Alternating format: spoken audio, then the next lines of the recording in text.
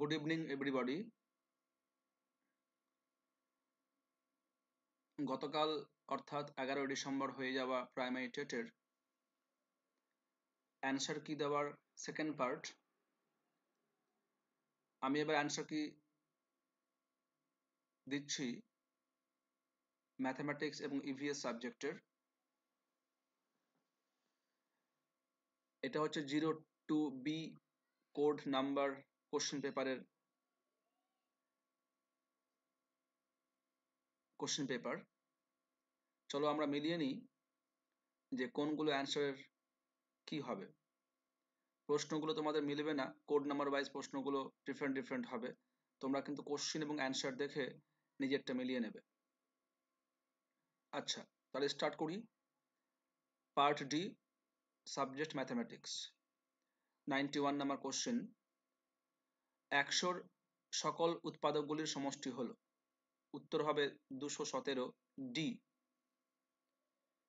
Ninety two নিম্নলিখিতগুলির মধ্যে কোনটি গণিতের বৈশিষ্ট্য নয়? উত্তরটা হবে ফলাফলের অনিশ্চয়তা এ নাম্বার অপশন পরে কোশ্চেন চলো। ভগ্নাংশের যোগফল ধারণাটি শেখানোর সময় শিক্ষক, শিক্ষিকা নিম্নলিখিত প্রশ্নগুলির মধ্যে কোনটি সর্বপ্রথম উদাহরণ হিসেবে ব্যবহার করবেন? উত্তরটা হবে ডি একের একের পাঁচ প্লাস দুইয়ের পাঁচ equal to question mark ninety four সংখ্যার মধ্যে লেখা যে অঙ্কের স্থানীয় মান তার স্থানের উপর নির্ভরশীল নয়, সেটি হলো, উত্তর হবে সি নাম্বারটা শূন্য। নাইনটি ফাইভ চলো, ধরা যাক এ ইকুয়াল টু ছশো ছেষট্টি গুণিত একশো তেইশ যোগ one into sixty six into four five seven plus two plus one এবং বি ইকুয়াল টু আচ্ছা dot dot dot plus one তাহলে এই এই কোশ্চেনটা অ্যান্সার হবে অপশন সি এটার আচ্ছা সরি এটা অ্যান্সার হবে, এটা সি হবে না অ্যান্সারটা চেঞ্জ হবে, উত্তর ডি হবে, কোনোটি মৌলিক নয়। এটা আমার টিম যারা ম্যাথস করান, তারা অ্যান্সার ডি নিয়েছে।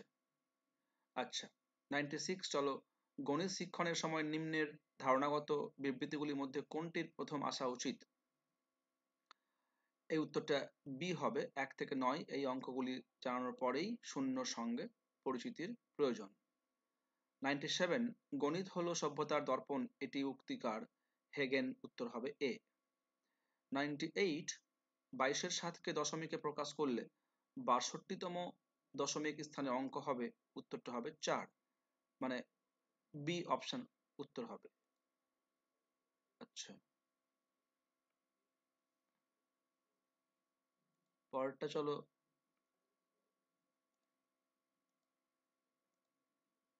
নাইনটি এইট নাইনটি নাইন চলো।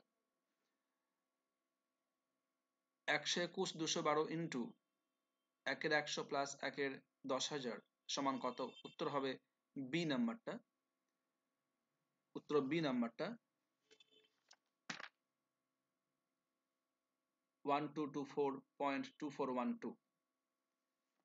একশো নম্বর কোশ্চেন নিচের কোনটি কোন ত্রিভুজের বাহু তিনটি দৈর্ঘ্য প্রকাশ করতে পারে না? উত্তর হবে C two centimetre three centimetre seven centimetre একশো এক কয়েকটা দেখো সাইন দেওয়া আছে, এক, তিন, ছয়, দশ এভাবে লেখা আছে, হলো ত্রিভুজ সংখ্যা, তাহলে দশম ত্রিভুজ সংখ্যাটি হলো উত্তর হবে পঞ্চান্ন, সি। একশো দুই চলো। ধরা যাক পি একটি মৌলিক সংখ্যা, প্রদত্ত বিবৃতিগুলি হলো, দেখো এক, দুই, তিন, চার করে নিচের কোনটি সঠিক বিবৃতি সেট? এখানে উত্তর হবে এ নাম্বারটা এক, দুই, চার।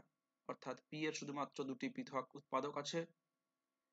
P not equal to one আর চার নম্বরটা পি মাইনাস টু আর greater than zero less than greater than zero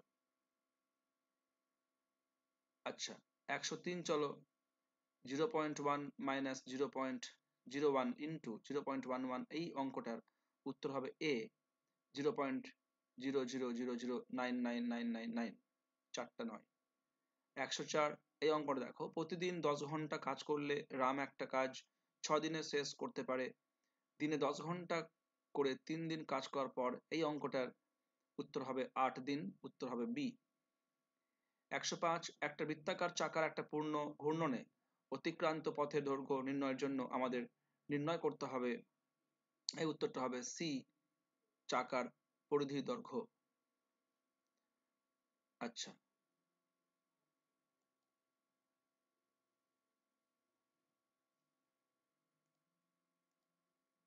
একশো ছয় চলো। বৃত্তের জন্য নিচের কোন বিবৃতিটি ঠিক নয়? উত্তর হবে সি দুটি পরস্পর সমান্তরাল জায়ের মধ্যবিন্দু সংযোজক রেখাংশ সর্বদাই বৃত্তের কেন্দ্রগামী হয়। একশো সাত। কোনো একজন শিক্ষক, শিক্ষিকা A plus B whole square equal to A square plus two plus B স্কোয়ারের ধারণা বিনিময় করার জন্য, করার সময় নিম্নের কোন কোন অপশনটি নেবেন? এই এই কোশ্চেনটা একশো সাতের উত্তর হবে D number five into five equal to five square এই অ্যান্সারটা নেওয়া হয়েছে। একশো আট, জ্যামিতি বিষয়ে শিক্ষার্থীর মধ্যে প্রেষণা জাগাতে নিম্নলিখিত কোনটির প্রয়োজন নেই? উত্তর হবে জ্যামিতি সংক্রান্ত জটিল সমস্যা, অর্থাৎ ডি একশো নয় দেখো নিম্নলিখিতগুলির মধ্যে কোন চিহ্নটি গণিতের ভাষার জন্য কেবলমাত্র প্রযোজ্য? উত্তরটা হবে সি পার্সেন্টেজ একশো দশ চলো। এনসিএফ দু পাঁচ নির্দেশ অনুসারে প্রাথমিক স্তরে গণিত শিক্ষার মূল লক্ষ্য হলো, এটা উত্তর হবে বি নাম্বার আচ্ছা এবার দেখো একশো এগারো প্রদত্ত বিবৃতিগুলির মধ্যে হলো এক এক, দুই, তিন, চার করে চারটা বিবৃতি দেওয়া হয়েছে। দুটি কোণ পরস্পর পূরক হয় যদি তাদের সমষ্টি নব্বই ডিগ্রি হয়। বিবৃতি দুই হলো সত্তর ডিগ্রি পরিমাপের কোণের পূরক, কোণের পরিমাপ হলো টোয়েন্টি ডিগ্রি। বিবৃতি তিন নম্বর হলো টোয়েন্টি ডিগ্রি পরিমাপের এই যে কোশ্চেনটা, ঠিক আছে? তো এখানে উত্তরটা হবে এ নাম্বার এক, দুই, তিন, চার। তাহলে চারটাই, চার এইভাবে সাজাতে হবে। এক, দুই, তিন, চার। ঠিক আছে? কোশ্চেনটা ছিল পুরো কোণের ধারণা দেওয়ার সময় একজন শিক্ষক, শিক্ষিকার উপর বিবৃতিগুলির নিম্নলিখিত কোন ক্রমটি পছন্দ করা উচিত? তাহলে এক, দুই, তিন, চার এই ক্রমটি পছন্দ করবে। এবার একশো বারো চলো। বলছে যে একশো একাত্তর, বাহান্ন একাত্তর এর সাত সাত দুটির স্থানীয় মানের অন্তর হলো উত্তরটা হবে A number six nine nine nine three zero একশো তেরো পূর্ণবর্গ সংখ্যা পাওয়ার জন্য থ্রি ফাইভ ফাইভ সেভেন ফোরকে এন দ্বারা ভাগ করা হলো। এন এর সর্বনিম্ন মান হলো উত্তর সি হবে ছয়। আচ্ছা পরের কোশ্চেন চলো। একশো পনেরো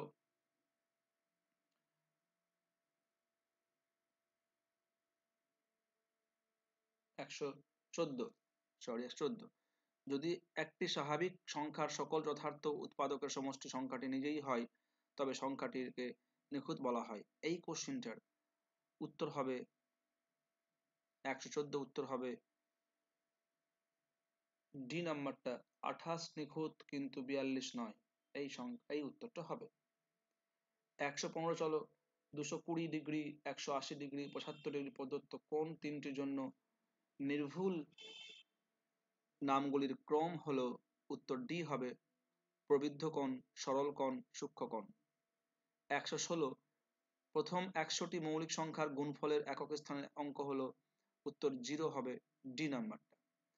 একশো সতেরো, একশো মিটার দৌড় প্রতিযোগিতায় রাম ফারুকের কাছে দশ মিটারে হেরে যায়। রাম যখন নাইন পয়েন্ট নাইন মিটার যায় তখন ফারুকের দ্বারা অতিক্রান্ত দূরত্ব হলো, উত্তরটা হবে এগারো মিটার, অর্থাৎ সি একটি জ্যামিতিক চিত্র অঙ্কন করো। প্রশ্নটি স্তর হলো দক্ষতামূলক উত্তর হবে ডি নাম্বার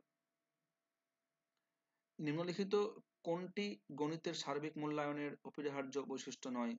উত্তর হবে এ নাম্বার নেওয়া হয়েছে এ নাম্বার এটা অনেকে বলছিল যে উত্তর ডি হতে পারে সময় সাপেক্ষ।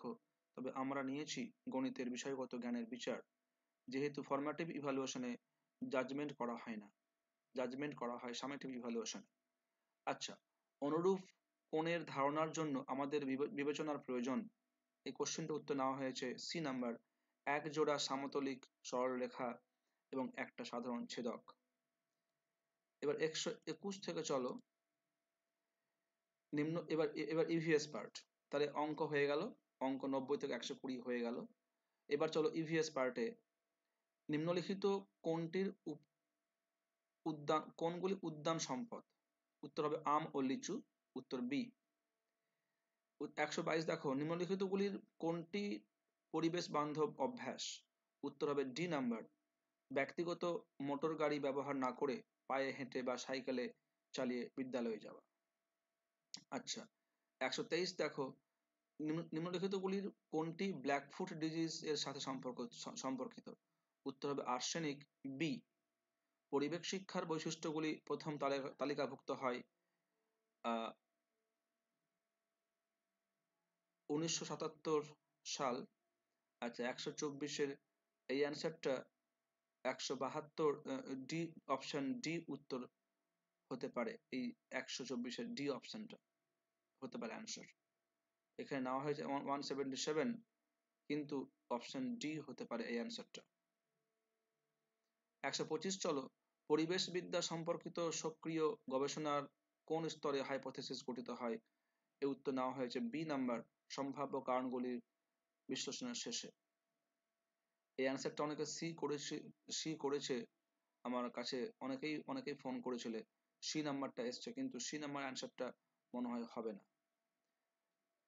ওয়ান টোয়েন্টি সিক্স চলো উত্তর হবে ডি নাম্বারটা।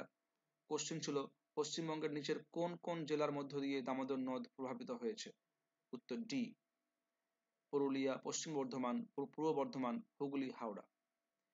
আচ্ছা ওয়ান টোয়েন্টি সেভেন নিম্নলিখিত গ্যাসগুলির মধ্যে কোন গ্যাসটি একটি প্রাকৃতিক গ্রিন হাউস গ্যাস? উত্তর হবে সি নাইট্রাস অক্সাইড।